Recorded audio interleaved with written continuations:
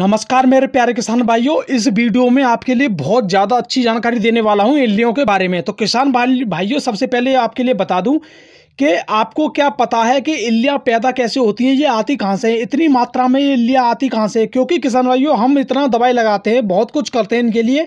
ये फिर भी जाती क्यों नहीं है? ये बार बार क्यों आ जाती हैं? तो किसान भाइयों, आप सोचते हो कि दवाई हमारी काम नहीं कर रही है, लेकिन किसान भाइयों कई हद तक दवाई भी काम करती हैं, लेकिन इल्लिया बार बार आती कहाँ से? सबसे पहले ये देखना है हमको, दवाई क्या करती हैं? दवाई एक बार ही तो काम करेंगी, इल्लिया फिर दोबारा आ जाती हैं तो उनको तो आपको लगेगा कि हमारी दवाई काम नहीं कर रही है तो फिर आ गई। तो किसान भाइयों, इसको जानना ज़रूरी है कि इनकी उत्पत्ति होती कैसी है। ये हमारी मूंग में, मक्के में, भिंडी में और कई फ़सलों में काफ़ी भारी मात्रा में नुकसान पहुँचाती हैं और इनकी दवाई काफ़ी महँगी भी आती हैं और इनको लगाते लगाते हम ज़्यादा परेशान हैं। तो चलिए किसान भाइयों, ये आपके लिए सब प्रॉब्लम दूर होने वाली हैं, इसके बारे में आज जानते हैं। डिटेल में और भाषा जो हम यूज़ करेंगे, बिल्कुल शुद्ध भाषा में यूज़ करेंगे। ये जो आप इस समय देख रही हो, ये हमारा ग्राफ है, ये कंपनी द्वारा दिया गया ग्राफ है, इसको साइड में करते हैं और देसी भाषा में अपना समझते हैं। तो सबसे पहले किसान भाइयों, आप जो मेरे हाथ में देख रहे हो, ये होता है प्यूपा। इसको हम बोलते हैं प्यूपा और आगे इसमें दो आँखें देख रहे हो, काली रंग की।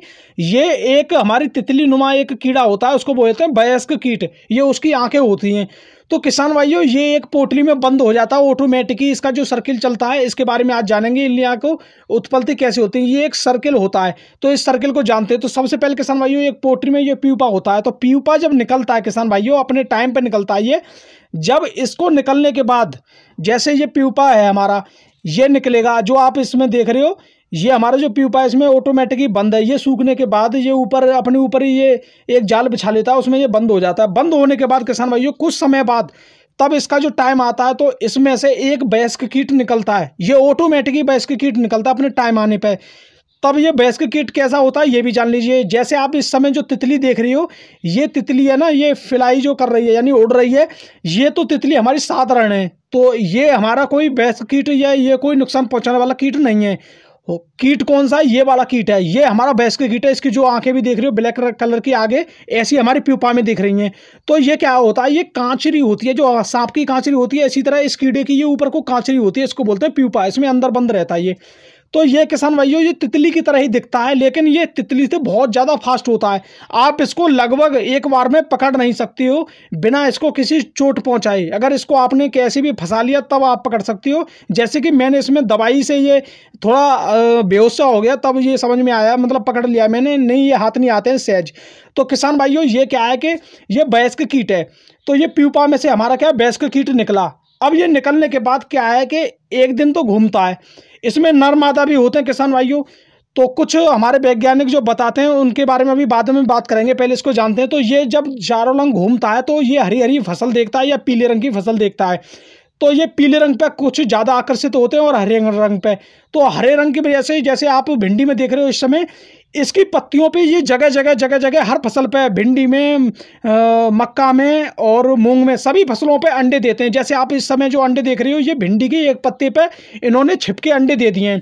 ये कोई मादा कीट देखे गया। तो ये अंडे झूम करके अभी देखते हैं कैसे हैं। ये देखिए किसान भाइयों जो आपको इस समय जो अंडे दिख रहे हैं ना ये इसी बैस्क कीट के अंडे अंडे हैं जो प्यूपा में से निकला है। ये करीब सौ से डेढ़ अंडे देता है एक बार में। अब इन अंडों का होता क्या है, किसान भाइयों? सबसे पहले हम जानते हैं ये अंडे देता कैसे है? तो हमने ये जान लिया प्यूपा में से, बैस्क कीट निकला, बैस्क कीट में से ये वो तितली, यानी तितली मान लीजिए, वो उड़ा चारों तरफ़ और उसने ऐसे अंडे दे दिए। अब ये हमारी भिंडी की फ़सल पे तो ऐसे दे देता है आराम से। और देखो मक्के की फ़सल पे आप देख लीजिए, पूरा गुच्छा करके, यानी गुच्छा नुमा करके अंडे दे दिया इसने।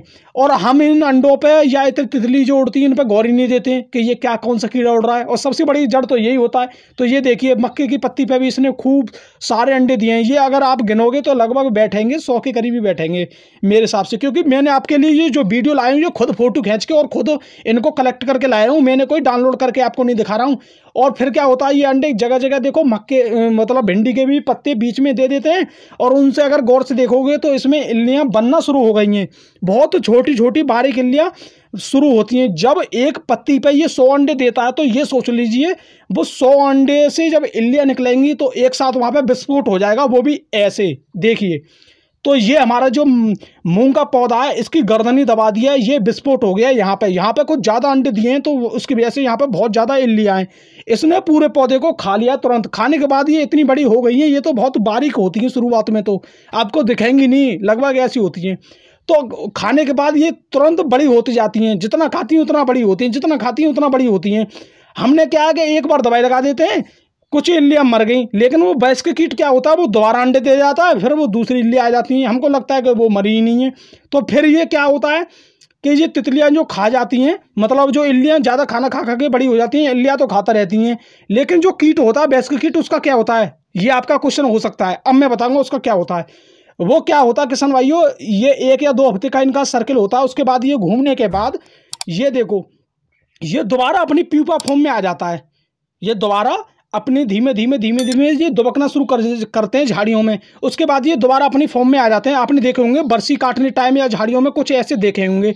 क्योंकि ये बारिश आने से पहले ही अपनी स्टेज पे पहुँच जाते हैं दोबारा। फिर ये टाइम लेते हैं पंद्रह, बीस, एक, दो महीने का, फिर दोबारा आ जाते हैं। ये अमावस्या की रात को किसान भाई कुछ वैज्ञानिक आप बताते हैं कि ये ज़्यादा अंडे देते हैं उस रात को। तो उससे पहले दवाई लगाना काफ़ी अच्छा होता है।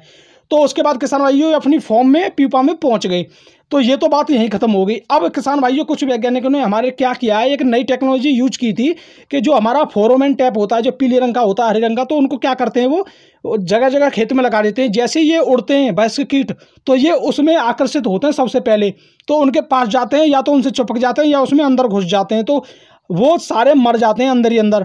जब हमारे कीटी ये मर जाएँगे, जो अंडे देने वाले हैं तो इल्लियाँ आएँगी कहाँ से? ये भी वैज्ञानिकों ने को अच्छी तकनीकी निकाली है, वो इसलिए निकाली है, जो मैंने आप वीडियो में सारा कुछ बताया ना, इसी को जानते हुए निकालिए सेम यही प्रोसेस होता है।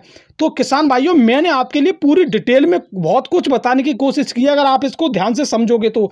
अगर आपके खेत में एक दो वयस्क कीट उठना, उड़ना लगे यानी एक दो भैंस की कीट अगर उड़ रहा है तो ये सोच लीजिए कि आपके जगह जगह वो अंडे दे रहा है। पहली बात तो ये है कि आपके इल्लियाँ वो जमा कर रहा है खेत में जगह जगह अंडे देके अपने अपने स्थान पर उसके बाद क्या अगर पीपा आपको दिखे तो आप उसको ही इकट्ठा करके गाड़ दीजिए या मार दीजिए। क्योंकि पीपा अगर ख़त्म कर देंगे तो उससे भैंस की कीट नहीं निकलेगा। जब कीट ही नहीं निकलेगा तो उससे वो कहीं अंडे नहीं दे पाएगा आपकी फ़सल के आसपास। तो आपने देखा होगा किसान भाइयों, ये कुछ समय के लिए जो इल्लियाँ हमारी बंद सी हो जाती हैं या दिखती नहीं है, वो यही कारण होता है कि वो बेस्किट होता है, वो प्यूपा में चला जाता है। तो किसान भाइयों, ये मैंने पूरी वीडियो आपकी पूरी मेहनत से बनाई है, कहीं पे कोई फ़ोटो मैंने डाला नहीं है, बस एक जो कंपनी का जो चार्ट था, बस वही डाला, डाउनलोड करके, बाकी सब मैंने अपने मोबाइल से खुद ये कैप्चर किए हैं सारे कुछ फ़ोटो। तो किसान भाइयों, इस वीडियो बनाने में मुझे टाइम इसलिए लगाया कि जगह जगह मुझे बेस्क कीटों के फ़ोटो भी लेने थे प्यूपा भी ढूँढने थे, उसके बाद मुझे अंडे भी ढूँढने थे। तो ये सारा कुछ टाइम लगा तो इस चैनल को प्लीज़ सब्सक्राइब करके रखें और साथ में बेल भी दबा दें। ऐसी मेरी वीडियो आती रहेंगी, वीडियो अच्छी लगे तो लाइक करें, शेयर करें, सब्सक्राइब करें। थैंक यू, नमस्कार।